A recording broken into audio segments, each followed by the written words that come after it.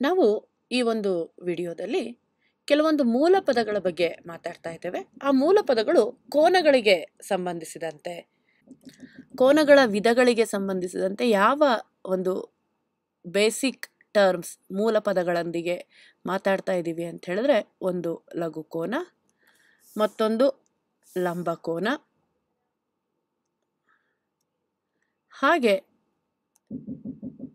ಅಧಿಕ ಕೋನ ಈ ಪದಗಳೇ ನಮಗೆ ಸುಲಭವಾಗಿ ಅವುಗಳ ಬಗ್ಗೆ ಮಾಹಿತಿ ಕೊಟ್ಬಿಡುತ್ತೆ. ಈಗ ನೋಡೋಣ ಮೊದಲಿಗೆ ಲಘು ಕೋನ ಈ ಲಘು ಕೋನ ಅಂದ್ರೇನು ಅಂತ ಹೇಳಿ ನೋಡೋಣ. ಈ ಲಘು ಕೋನ ಅಂತ ಹೇಳಿದ್ರೆ ಎರಡು ಕಿರಣಗಳನ್ನು ನಾನೀಗ ತೆಗೆದುಕೊಳ್ತಾ ಇದ್ದೀನಿ ಅಂತ ಅಂದರೆ ಇದೊಂದು ಕಿರಣ ಹಾಗೂ ಇದೊಂದು ಕಿರಣ ಅಂತ. ಇದೊಂದು ಕಿರಣ ಅಂತ ಹೇಳಿದ್ರೆ ಈ ಎರಡೂ ಕಿರಣಗಳಿಂದ ಉಂಟಾದಂತಹ ಕೋನ, ಈ ಕೋನವನ್ನು ನಾವು ಲಘು ಕೋನ ಅಂತ ಹೇಳಿ ಕರಿತೇವೆ. ಅಥವಾ ಎರಡು ರೇಖೆಗಳು ಹೀಗೆ ಒಂದಕ್ಕೊಂದು ಛೇದಿಸ್ತಾ ಇದ್ದಾವೆ ಅಂತ, ಛೇದಿಸ್ತಾ ಇದ್ದಾವೆ ಅಂತ ಹೇಳಿದ್ರೆ ಈ ಎರಡು ರೇಖೆಗಳಲ್ಲಿ ಈ ಕೋನಗಳನ್ನು, ಈ ಕಡಿಮೆ ಅಳತೆ ಇರುವಂತಹ ಕೋನಗಳನ್ನು ನಾವು ಲಘು ಕೋನ ಅಂತ ಹೇಳಿ ಹೇಳ್ತೇವೆ. ಹಾಗಾದರೆ ಈ ಲಘು ಕೋನದ ಅರ್ಥ ಏನನ್ನ ತಿಳಿಸುತ್ತೆ? ಎರಡು ಕಿರಣಗಳನ್ನು ತೆಗೆದುಕೊಂಡು ನಾವು ಆ ಕಿರಣಗಳಿಂದ ಉಂಟಾದಂತಹ ಕೋನ ಈ ರೀತಿ ಕಡಿಮೆ ಅಳತೆಯನ್ನು ಹೊಂದಿದರೆ, ಎಷ್ಟು ಕಡಿಮೆ ಅಳತೆಯನ್ನು ಹೊಂದಿದರೆ ಅದಕ್ಕಾಗಿ ಮೊದಲಿಗೆ ನಾವು ಲಂಬಕೋನವನ್ನು ವ್ಯಾಖ್ಯಾನಿಸಿಕೊಳ್ಳೋಣ, ಡಿಫೈನ್ ಮಾಡ್ಕೊಳ್ಳೋಣ. ಈ ಲಂಬಕೋನ ಅಂದ್ರೇನು? ಈಗ ನಾನು ಇದನ್ನು ಅದಕ್ಕಾಗಿ ಸ್ವಲ್ಪ ಕೆಳಗೆ ತೆಗೆದುಕೊಳ್ತೇನೆ. ಈಗ ಲಂಬಕೋನ ಅಂತ ಹೇಳಿದ್ರೆ, ನಾವಿಲ್ಲಿ ನೇರವಾಗಿ ನಮಗೆ ನೆಲಕ್ಕೆ ಸಮಾಂತರವಾಗಿ ಒಂದು ಗೆರೆ ಇದೆ ಆರಿಸೆಂಟಲ್ ಆಗಿ ಅಂತ ಹೇಳಿದ್ರೆ, ಈ ಆರಿಸೆಂಟಲ್ಗೆ ನೇರವಾಗಿ ಅಪ್ರೈಟ್ ಆಗಿ ಅಪ್ರೈಟ್ ಆಗಿ ಮೇಲ್ಮುಖವಾಗಿ ಮತ್ತೊಂದು ಗೆರೆ ಇದೆ ಅಂತ ಹೇಳಿದ್ರೆ ಇವುಗಳಿಂದ ಉಂಟಾದಂತಹ ಕೋನವನ್ನು ನಾವು ಲಂಬಕೋನ ಅಂತ ಹೇಳ್ತೇವೆ. ಈ ಒಂದು ಕೋನವನ್ನು ಲಂಬಕೋನ ಅಂತ ಹೇಳ್ತೇವೆ. ಸಾಂಪ್ರದಾಯಿಕವಾಗಿ ಮೊದಲಿಗೆ ನಾವು ಈ ರೀತಿ ಸೂಚಿಸಿದ್ರು ನಂತರ ನಾವು ಲಂಬಕೋನವನ್ನು ಈ ರೀತಿಯಾಗಿ ರೆಪ್ರೆಸೆಂಟ್ ಮಾಡ್ತೇವೆ. ಇಲ್ಲಿ ಈ ಒಂದು ಕಾಂಟೆಕ್ಸ್ಟಲ್ಲಿ ಹೇಳೋದಾದರೆ ಈಗ ಎರಡು ರೇಖೆಗಳು ಈ ರೀತಿಯಾಗಿ ಒಂದನ್ನೊಂದು ಛೇದಿಸ್ತಾ ಇದೆ ಅಂತ ಹೇಳಿದ್ರೆ ಛೇದಿಸ್ತಾ ಇದೆ ಅಂತ ಹೇಳಿದ್ರೆ, ಇದು ಒಂದು ಲಂಬಕೋನ ಅಂತ ಹೇಳಿದ್ರೆ, ಇಲ್ಲಿ ಎಲ್ಲ ಕೋನಗಳು ಸಹ ಲಂಬಕೋನಗಳೇ ಆಗಿರ್ತವೆ.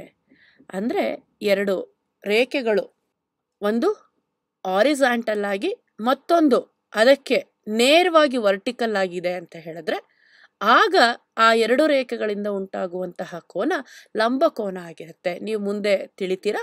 ಈ ಕೋನಗಳನ್ನು ರೇಡಿಯನ್ಸ್ ಮತ್ತು ಡಿಗ್ರಿಗಳಲ್ಲಿ ಅಳತೆ ಮಾಡಲಾಗತ್ತೆ. ಈ ಲಂಬಕೋನದ ಅಳತೆ ತೊಂಬತ್ತು ಡಿಗ್ರಿ ಇರುತ್ತೆ. ಲಂಬಕೋನದ ಅಳತೆ ತೊಂಬತ್ತು ಡಿಗ್ರಿಗೆ ಸಮ ಆಗಿರುತ್ತೆ. ಈ ತೊಂಬತ್ತು ಡಿಗ್ರಿ ಕೋನವನ್ನು ನಾವು ಲಂಬಕೋನ ಅಂತ ಕರಿತೇವೆ ಅಂತ ತಿಳಿತು. ಈ ತೊಂಬತ್ತು ಡಿಗ್ರಿಗಿಂತ ಕಡಿಮೆ ಅಳತೆಯನ್ನು ಹೊಂದಿರುವಂತಹ ಕೋನಗಳನ್ನು ಲಘು ಕೋನ ಅಂತ ಹೇಳಿ ಕರಿತೇವೆ. ಇಲ್ಲಿ ನೀವು ಗಮನಿಸ್ಬೋದು ಇದು ತೊಂಬತ್ತು ಡಿಗ್ರಿಗಿಂತ ಕಡಿಮೆ ಇರುತ್ತೆ. ಇಂತಹ ಕೋನಗಳನ್ನು ನಾವು ಲಘು ಕೋನಗಳು ಅಂತ ಹೇಳಿ ಕರಿತೇವೆ. ಲಘು ಕೋನ ಅಂತ ಹೇಳಿದ್ರೆ ತೊಂಬತ್ತು ಡಿಗ್ರಿಗಿಂತ ಕಡಿಮೆ. ಲಂಬ ಕೋನ ಅಂತ ಹೇಳಿದ್ರೆ ತೊಂಬತ್ತು ಡಿಗ್ರಿಗೆ ಸಮ. ಇನ್ನು ಅಧಿಕ ಕೋನ, ನಿಮಗೆ ಈಗ ಆಲ್ರೆಡಿ ಈ ಮಾಹಿತಿಯ ಆಧಾರದ ಮೇಲೆ ಅಧಿಕ ಕೋನ ಏನು ಅಂತ ಹೇಳಿ ಅರ್ಥ ಆಗಿರಬಹುದು. ಈ ತೊಂಬತ್ತು ಡಿಗ್ರಿಗಿಂತ ಹೆಚ್ಚಾಗಿರುವಂತಹ ಕೋನ ನೀವು ಗಮನಿಸಿದ್ರೆ, ಈ ಲಘು ಕೋನ ಕಡಿಮೆಯಾಗಿ ತೆರೆದುಕೊಂಡಿದ್ರೆ, ಈ ಅಧಿಕ ಕೋನ ಹೆಚ್ಚಾಗಿ ತೆರೆದುಕೊಂಡಿರುತ್ತೆ. ಅಂದರೆ ಓಪನ್ ಅಪ್ಸ್ ವೈಡರ್ ಅಂಥೇಳಿ ಈಗ ನೀವು ಗಮನಿಸಬಹುದು ಇಲ್ಲಿ ಒಂದು ರೇಖೆ ಇತ್ತು ಅಂತ ಹೇಳಿದ್ರೆ ಅದು ತೊಂಬತ್ತು ಡಿಗ್ರಿ ಆಗ್ತಾ ಇತ್ತು. ಈ ತೊಂಬತ್ತು ಡಿಗ್ರಿಗಿಂತ ಹೆಚ್ಚಾಗಿರುವಂತಹ ಅಳತೆಯನ್ನು ಹೊಂದಿರುವಂತಹ ಕೋನವನ್ನು ನಾವು ಅಧಿಕ ಕೋನ ಅಂತ ಹೇಳಿ ಕರಿತೇವೆ. ನಾವು ಈ ರೀತಿಯ ಒಂದು ಉದಾಹರಣೆಯನ್ನು ತೆಗೆದುಕೊಂಡ್ವಿ. ಎರಡು ರೇಖೆಗಳು ಒಂದನ್ನೊಂದು ಛೇದಿಸ್ತಾ ಇದ್ದಾವೆ ಅಂತ ಹೇಳಿದ್ರೆ ಇಲ್ಲಿ ನೀವು ಗಮನಿಸ್ಬೋದು ಈ ಕೋನಗಳು ತೊಂಬತ್ತು ಡಿಗ್ರಿಗಿಂತ ಹೆಚ್ಚಾಗಿವೆ. ಈ ಕೋನಗಳು ತೊಂಬತ್ತು ಡಿಗ್ರಿಗಿಂತ ಹೆಚ್ಚಾಗಿವೆ. ಇವನ್ನ ನಾವು ಅಧಿಕ ಕೋನಗಳು ಅಂತ ಹೇಳಿ ಕರಿತೇವೆ. ಹಾಗಾದರೆ ಅಧಿಕ ಕೋನ ತೊಂಬತ್ತು ಡಿಗ್ರಿಗಿಂತ ಹೆಚ್ಚಾಗಿ ಇರುತ್ತೆ. ಈಗ ನಾವು ಇದನ್ನು ಒಂದು ಗ್ರಾಫಿಂಗ್ ಕ್ಯಾಲ್ಕುಲೇಟ್ರಲ್ಲಿ ನೋಡೋಣ. ನೀವು ಇಲ್ಲಿ ಗಮನಿಸಿದ್ರೆ ಇಲ್ಲಿ ಎರಡು ರೇಖೆಗಳು ಒಂದರ ಮೇಲೆ ಒಂದು ಕೋಯಿನ್ಸೈಡ್ ಆಗಿದೆ. ಇಲ್ಲಿ ಯಾವುದೇ ರೀತಿ ಕೋನ ಉಂಟಾಗ್ತಾ ಇಲ್ಲ. ಈಗ ನಾನು ಒಂದು ರೇಖೆಯನ್ನು ಸ್ವಲ್ಪ ರೊಟೇಟ್ ಮಾಡ್ತಾ ಇದ್ದೀನಿ ಅಂತ ಹೇಳಿದ್ರೆ ಇಲ್ಲಿ ನೀವು ಗಮನಿಸ್ತಾ ಇದ್ರೆ ಕೋನ ಉಂಟಾಗ್ತಾ ಇದೆ. ಅದರ ಬೆಲೆ ಸಹ ಕಾಣಿಸ್ತಾ ಇದೆ ನಿಮಗೆ. ಇಪ್ಪತ್ತೇಳು ಡಿಗ್ರಿ, ಇಪ್ಪತ್ತಾರು ಡಿಗ್ರಿ ಅಂತೆಲ್ಲ ಹೇಳಿ. ಮೂವತ್ತೇಳು ಡಿಗ್ರಿ, ಮೂವತ್ತೊಂಬತ್ತು ಡಿಗ್ರಿ ಈ ಎಲ್ಲ ಕೋನಗಳು ಸಹ ಲಘು ಕೋನಗಳಾಗ್ತವೆ. ಇದರ ಅಳತೆ ತೊಂಬತ್ತು ಡಿಗ್ರಿಗಿಂತ ಕಡಿಮೆ ಆಗಿದೆ. ಯಾವಾಗ ಈ ಕೋನವನ್ನು ನಾವು ಈ ರೀತಿಯಾಗಿ ರೊಟೇಷನ್ನ ನಾವು ಮಾಡ್ತಾ ಹೋಗ್ತೀವಿ, ಅದು ಎಕ್ಸಾಕ್ಟ್ಲಿ ತೊಂಬತ್ತು ಡಿಗ್ರಿಗೆ ಬಂದು ನಿಲ್ಲುತ್ತೆ. ಆಗ ಈ ಒಂದು ಕೋನ ನೀವು ಗಮನಿಸಬಹುದು. ಈ ಒಂದು ಕಿರಣ ಆರಿಸಾಂಟಲ್ ಆಗಿ ಇದೆ.